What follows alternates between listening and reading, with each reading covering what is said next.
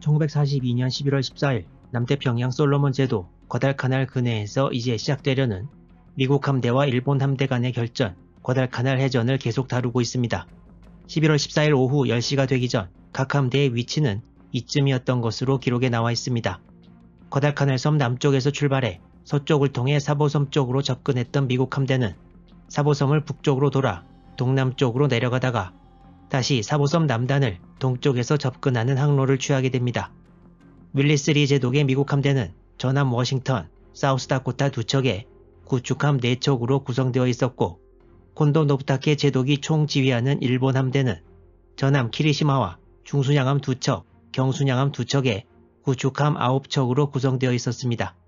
일본 함대는 사보섬 북쪽 먼 해상에서부터 남쪽으로 진입했고 이제 곧 함대를 나누어 사보섬을 가운데 두고 서쪽과 동쪽으로 돌입하게 됩니다. 주 임무인 과달카날의 핸더슨 비행장 포격을 맡은 부대에는 전함 키리시마와 중순양함 아타고와 타카오 그리고 구축함 두 척이 배정되었습니다. 이 사진은 11월 14일 키리시마와 호위함들이 과달카날로 내려오는 모습을 찍은 것입니다. 이제 복수의 자료를 참고해 최대한 정확하게 전투 경과를 다시 짚어보면 다음과 같습니다. 남하하면서 사보섬 동쪽으로 갈라져 내려온 일본 함대는 하시모토 신타로 제독이 지휘하는 경순양함 센다이와 제19 구축대의 구축함 3척이었습니다. 기록에 의하면 4척의 함정이 갈라져 나온 것이 오후 10시이고 바로 구축함 시키나미가 미군 함대를 200도 방향에서 목격했다고 보고합니다. 이때 일본 기록으로 본 미 함대의 위치는 사보섬 동쪽에서 남동쪽으로 가는 중으로 추측됩니다. 약 5분 뒤인 10시 5분 구축함 우라나미가 적함 중 신형 순양함이 있다고 보고합니다. 이는 미 함대의 대형 전함인 워싱턴과 사우스다코타를 순양함으로 착각한 것입니다. 원래 갈라져 나온 일본 함정 4척도 두 척씩 나누어서 사보섬을 끼고 동서로 진입하려고 했으나 갑자기 나타난 미 함대를 보고 사보섬 동쪽으로 순양함 센다이를 추가로 보내게 됩니다. 하시모토 제독의 4척의 함정은 원래 각각 사보섬을 끼고 돌면서 정찰을 할 계획이었습니다. 이제 시간은 오후 11시 또 다른 보고가 일본 함대에 들어옵니다.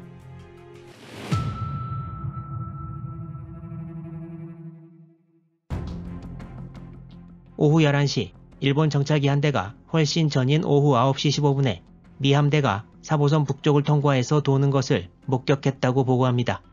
같은 시각 일본 함들이 미 함대가 과달카날 미군 기지 쪽을 향해 항진한다고 보고하는데 그때까지도 아직 일본군은 미군 전함이 순양함인 것으로 알고 있었습니다.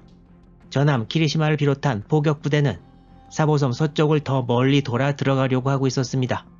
이때 일본 함대는 과달카나를 향해 계속 오고 있던 일본 수송부대도 목격합니다. 미군 함대도 일본군 통신 채널의 일본어 대화 내용을 듣고 적이 근접해 있음을 알고 있었습니다. 핸더슨 비행장을 포격할 키리시마 등의 일본 사격대는 오후 11시 6분 침로를 정남으로 변경해 항진하기 시작합니다. 미 함대는 10시 52분 이미 미군 기지 쪽으로 가던 항로를 서쪽으로 변경해서 항진하기 시작했고 사보섬 동쪽으로 와서 미 함대와 가장 가까웠던 쪽의 순양함 센다이에서도 이를 11시 7분경에 발견해 보고합니다. 이때 일본 함대를 총지휘하던 콘도 제독은 양 함대가 현재의 항로를 유지한다면 키리시마가 포함된 부대가 위 함대와 맞닥뜨리게 될 것임을 알고 사보섬 동쪽으로 가는 함정들의 미군 함대를 먼저 상대하게 합니다. 이런 작전도 아직 미군 전함이 순양함이라고 생각했기 때문에 나온 것이기도 했습니다.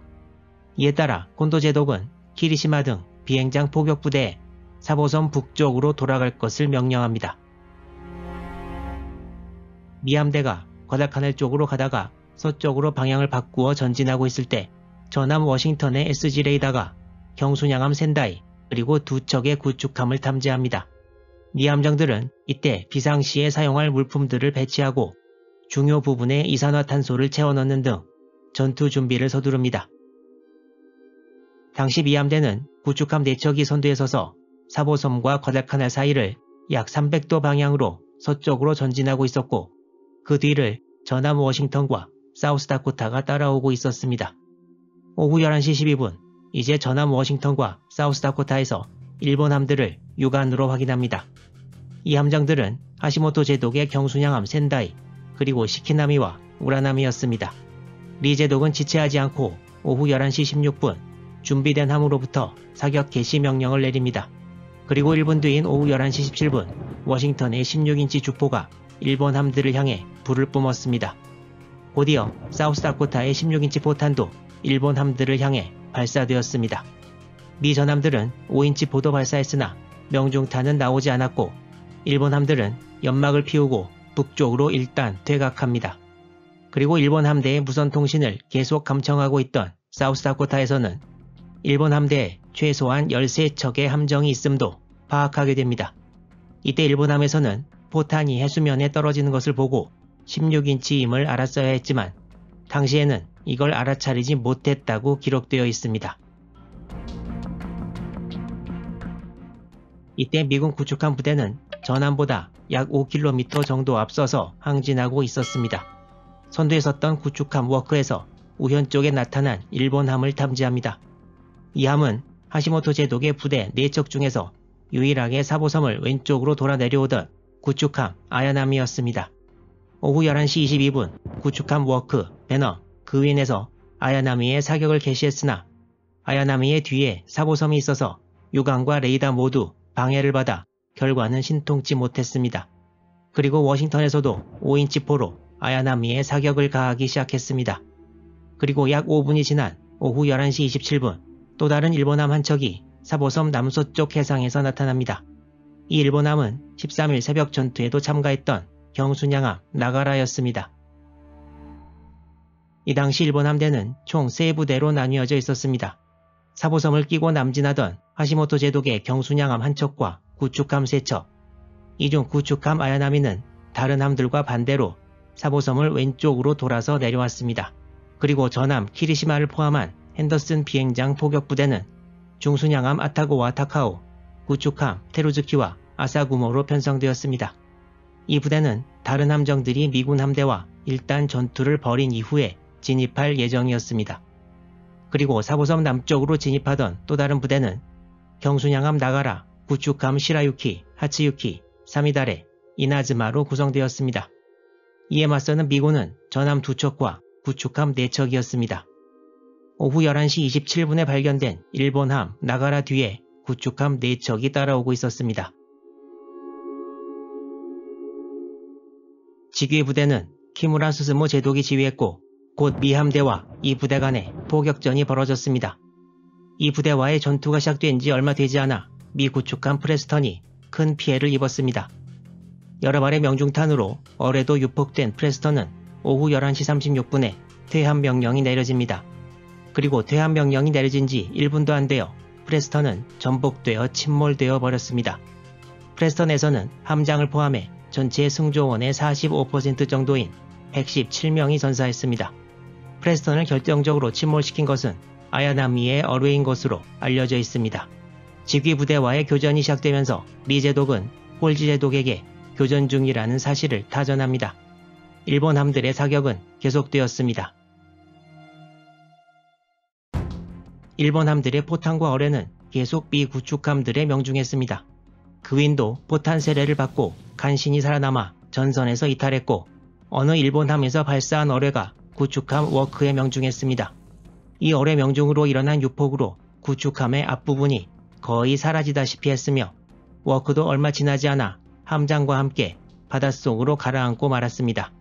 그리고 침몰 도중에 폭래가 유폭되어 퇴함 후 바다에 떠 있었던 많은 생존자가 희생되었습니다.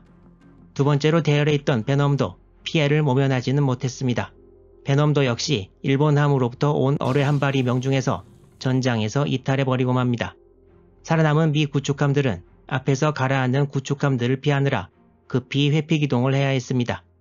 직위부대는 거의 피해를 입지 않고 미 구축함들을 성공적으로 공격했지만 먼저 지나가던 구축함 아야나미는 전함 워싱턴으로부터 포화를 맞고 동력을 잃어버립니다. 짧은 15분간의 교전에서 남은 구축함들도 피해를 입어 정상적인 작전이 불가능하게 되자 윌리스 리 제독은 베넘과 그윈에게 오후 11시 48분 후방으로 퇴각할 것을 명령합니다.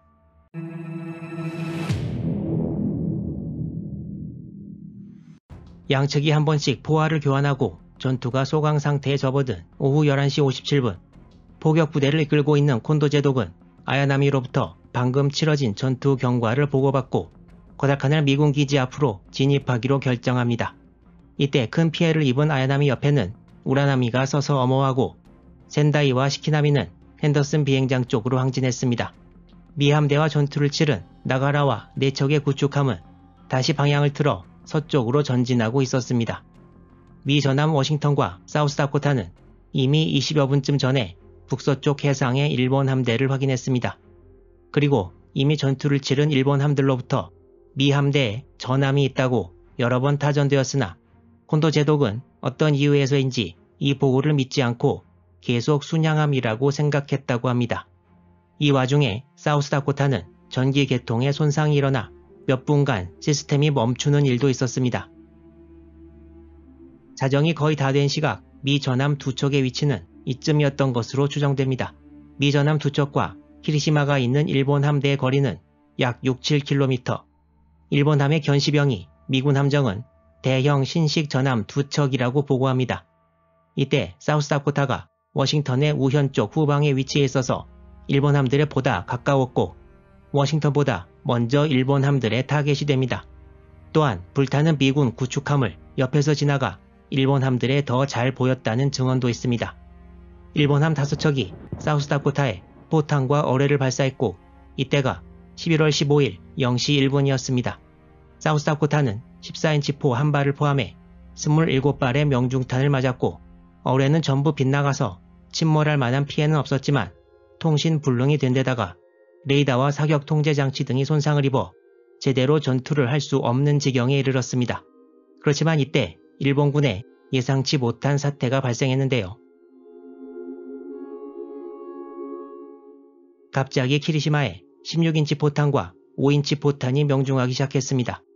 일본 함대의 모든 관심이 사우스다코타에 쏠려 있는 사이 미 함대 기함 워싱턴이 일본 함들이 탐조 등을 밝혀 위치가 드러나자 가장 큰 전함 키리시마에 집중타를 퍼부은 것입니다.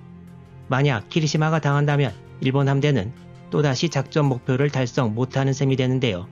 미국의 마지막으로 남은 전함 워싱턴과 희의 일을 이미 잃은 일본은 어떤 전투를 보여줄까요?